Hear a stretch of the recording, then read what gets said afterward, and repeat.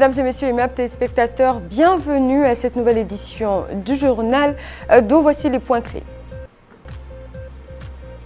Immigration et sécurité routière au menu des travaux du Conseil des ministres de ce jeudi.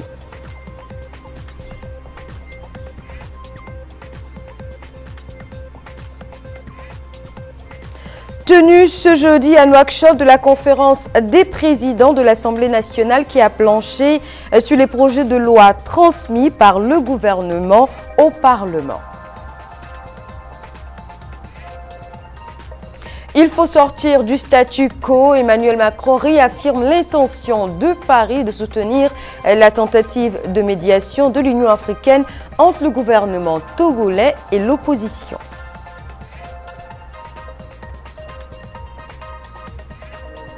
Bonsoir et merci de nous avoir choisis pour cette nouvelle session euh, d'information. Lors de la conférence de presse consécutive au Conseil des ministres de ce jeudi, des membres euh, du gouvernement ont abordé les principaux points à l'ordre du jour euh, du conclave, de conclave, pardon, de leur conclave. Reportage. En effet, le ministre de l'Intérieur et de la décentralisation a indiqué que le projet de loi portant statut de la police nationale vise à améliorer le système de sécurité et de défense afin de répondre aux exigences de l'heure et pour servir de bouclier infranchissable contre la criminalité transnationale, le crime organisé, le terrorisme. Cette stratégie comporte selon lui la formation et l'équipement des forces armées et de sécurité nationale en plus de leur déploiement au niveau national, rappelant que les importantes restructurations enregistrées dans ce domaine, dont les vagues successives de recrutement dans les corps de la police, de la garde et de la sécurité routière et l'équipement en matériel nécessaire qui va avec. Le projet de loi vise en outre à créer un cadre juridique plus approprié pour accompagner l'important développement des missions de la police, ainsi que pour faire front aux défis posés par la mondialisation du crime. Le projet de loi est la création au finish d'un cadre technique de la police aux côtés du cadre général au sein duquel l'homme de loi était agent, sous-officier, inspecteur, officier ou commissaire, alors qu'il peut, en vertu de ce projet, être un commissaire médecin, un officier médecin, un ingénieur ou un technicien supérieur, a-t-il poursuivi. Le ministre de l'Intérieur a évoqué durant ce point de presse l'idée de l'Union européenne de créer des centres d'orientation ou des hotspots, en référence aux idées encore floues de l'Union européenne d'ériger des plateformes de débarquement des migrants secourus en mer, y compris hors de l'Union européenne, ainsi que des centres d'accueil de migrants dans les pays de transit tels la Mauritanie. Je ne vois pas l'utilité de cette plateforme de débarquement. Donc, ou bien on est en situation régulière, il est le bienvenu en territoire national. Et s'il veut se fixer, on a instauré euh, cette carte de séjour. En passage vers l'Europe, il est inacceptable.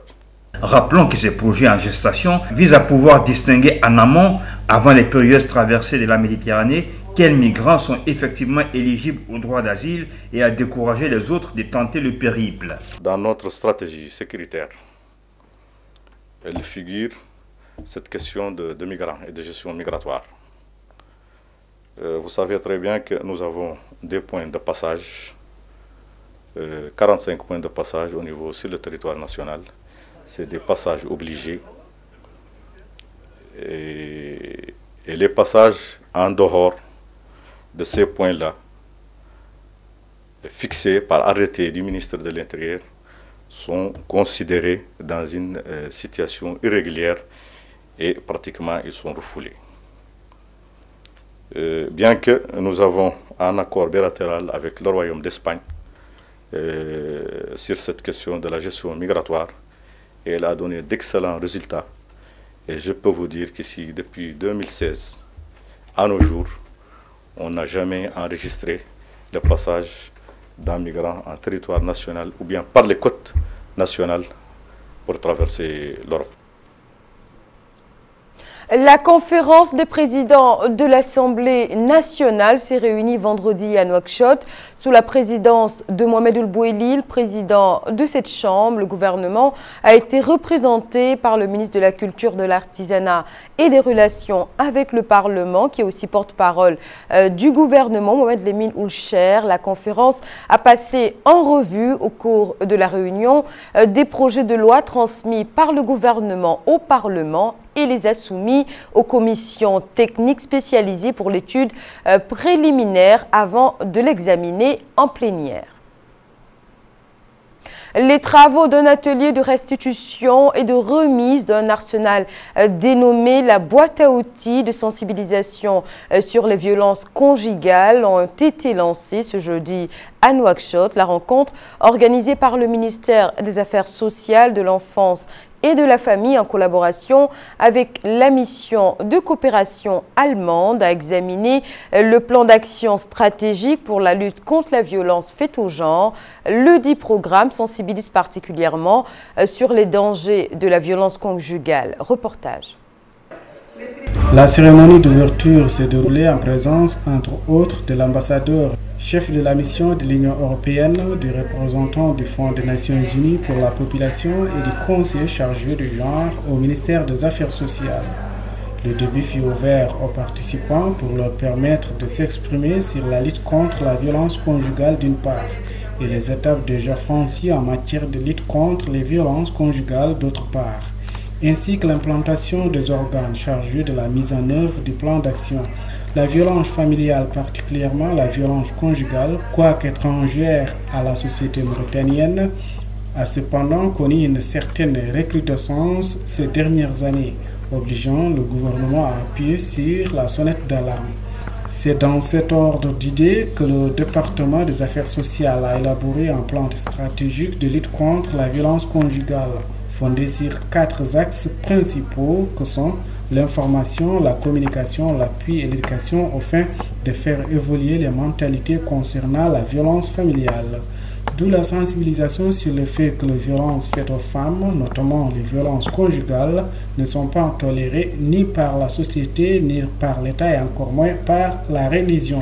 La directrice euh, nous la matrice du dispositif érigé à cet effet. Euh, ces supports sont euh, ont été élaborés dans le cadre d'une coopération entre la Mauritanie et la coopération allemande, euh, à, travers une approche communautaire.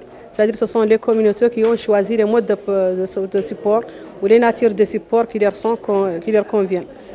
Euh, donc euh, cet, cet, atelier est organisé pour remettre ces supports au ministère des Affaires sociales, de l'enfance et de la famille pour qu'ils puissent les utiliser dans les prochaines campagnes de sensibilisation de lutte contre la violence conjugale euh, dont souffre la vie famille, la vie, euh, dont la famille dans notre pays. Euh, dans ce cadre, il a été présenté une stratégie, la stratégie qui a été élaborée aussi dans ce cadre de lutte contre les violences conjugales et qui est composée de quatre axes qui visent l'amélioration des, compétences du personnel, l'amélioration du cadre institutionnel, la diffusion de l'information au sein des populations, le renforcement du cadre légal et juridique dans notre pays qui vise la protection de la femme. Cette boîte à outils permettra au ministère des Affaires sociales, de l'enfance et de la famille et à ses partenaires de mieux répondre au fléau des violences conjugales et mieux le prévenir à la source. Lors de son déplacement au Nigeria, Emmanuel Macron a évoqué la situation au Togo. Il a réaffirmé euh, l'intention de Paris de soutenir la tentative euh, de médiation de l'Union africaine entre le gouvernement euh, togolais et l'opposition. Il faut sortir du statu quo. Ce sont les propos qu'il a tenus. Ils ont bien sûr fait réagir à Lomé. Au Nigeria, Emmanuel Macron a évoqué lors d'une séance de questions-réponses la crise qui dure depuis près d'un an au Togo. Il a estimé euh, que le statu quo n'était plus possible entre les autorités et les opposants. Allusion aux lenteurs prises dans les discussions entre pouvoir et opposition depuis plusieurs mois. Des propos qui ont été salués aussi bien par l'opposition euh, que la majorité togolaise.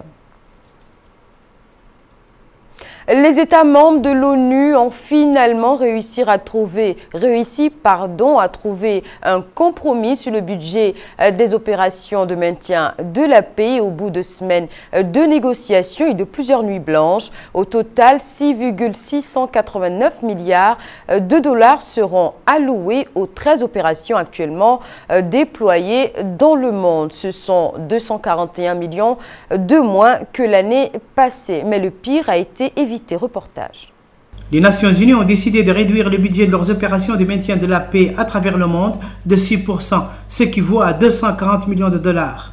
Les missions onusiennes en Afrique, notamment au Mali, en République démocratique du Congo, au Sud-Soudan et en République centrafricaine, sont les plus touchées par ces coupes budgétaires. La portion de budget soustraite se situe entre 18 et 32 millions de dollars. Le budget alloué par les Nations Unies pour ces 13 opérations à travers le monde pour cette année s'élève à 6 milliards 689 millions de dollars, tandis que l'année dernière il était de 7 milliards 300 millions de dollars. Les Nations Unies possèdent environ 100 000 soldats déployés dans divers pays du monde qui font face à d'importants défis de sécurité dont plus de la moitié se trouve sur le continent africain. Au Sud-Soudan, par exemple, les Nations Unies déploient 14 150 soldats pour un budget total de plus d'un milliard 100 millions de dollars.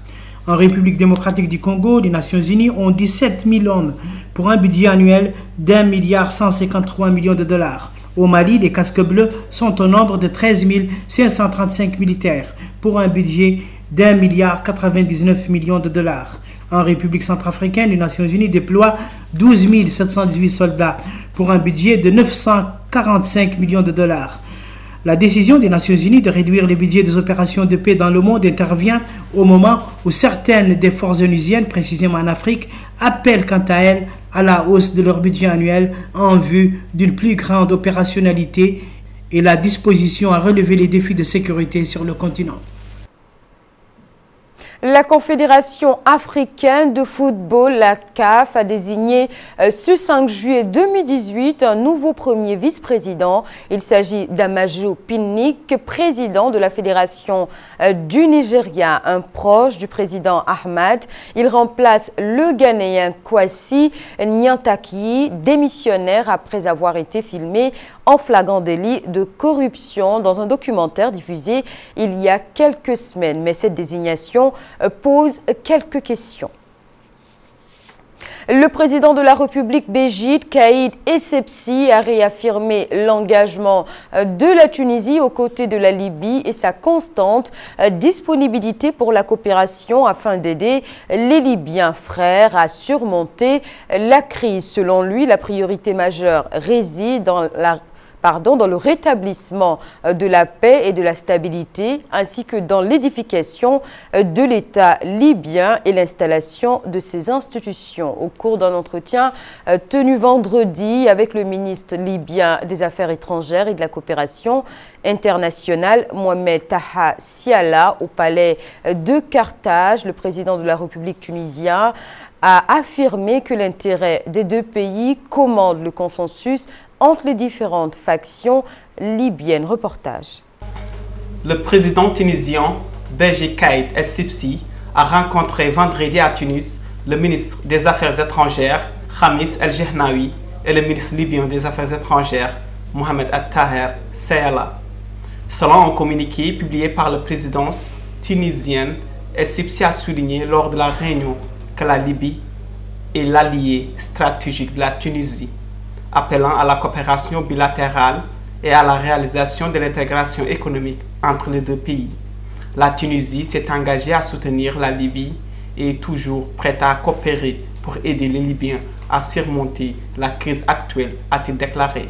Et Sipsi a évoqué l'importance du rétablissement de la sécurité, de la stabilité et de la construction de l'État libyen, la mise en place de ces institutions, affirmant que c'est la priorité absolue pour la Tunisie, dont l'intérêt commun avec la Libye exige la concordance entre les différentes parties libyennes et à la prédilection dont l'intérêt commun avec la Libye exige la concordance entre les différentes parties libyennes et à la prédilection de l'intérêt du peuple libyen et à l'accélération d'un règlement politique global de cette crise basé sur l'initiative tripartite et l'accord politique et le plan onusien, ajoute le président tunisien. La partie libyenne, représentée par le ministre Sayala, a exprimé son appréciation du soutien et de la défense de la Tunisie au peuple libyen. Le chef de la diplomatie libyenne se réjouit des affaires consenties par la Tunisie en faveur du dialogue, la réconciliation et le renforcement de l'État en Libye. C'est conformément toujours à la déclaration présidentielle tunisienne, a salué rétablissement de la coopération bilatérale dans son contexte naturel et souligné le souci des deux pays d'aller de l'avant dans la mise en œuvre des programmes de coopération convenus entre les deux parties. Le discours du président tunisien intervient après la visite du ministre tunisien des Affaires étrangères, Khamis Al-Jehnaoui, dans les villes de Tripoli et de Tobruk, et sa rencontre avec un certain nombre de responsables libyens. Un civil palestinien a été, a été tué, des douzaines d'autres ont été blessés aujourd'hui euh, par les forces d'occupation israéliennes suite à des tirs de balles et de grenades lacrymogènes sur les participants au 15e vendredi de la marche du Grand Retour. Le ministère palestinien de la Santé a annoncé via le centre d'information euh, palestinien que Mohamed Jamal Alien Abu Alima, 22 ans, avait été tué par une balle dans la poitrine à l'est de Gaza et que 15 Palestiniens, euh, dont des éléments des équipes médicales, ont subi des atteintes suite à l'inhalation euh, de gaz. Le centre d'information palestinien a affirmé que des milliers de citoyens ont commencé à affluer au camp de retour pour participer au vendredi qui était organisé sous le slogan unis pour abandonner l'accord et briser le siège. Dès l'afflux des citoyens dans les camps, les forces d'occupation israéliennes ont lancé des bombes à gaz et des jeunes ont allumé des pneus pour brouiller la vision des soldats israéliens. C'était tout pour cette édition. Le rappel des titres.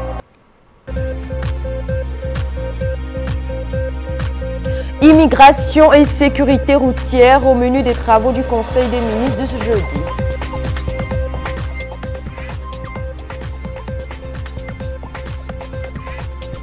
Tenue ce jeudi à Nouakchott de la conférence des présidents de l'Assemblée nationale qui a planché sur les projets de loi transmis par le gouvernement au Parlement. Il faut sortir du statu quo. Emmanuel Macron réaffirme l'intention de Paris de soutenir la tentative de médiation de l'Union africaine entre le gouvernement togolais et l'opposition.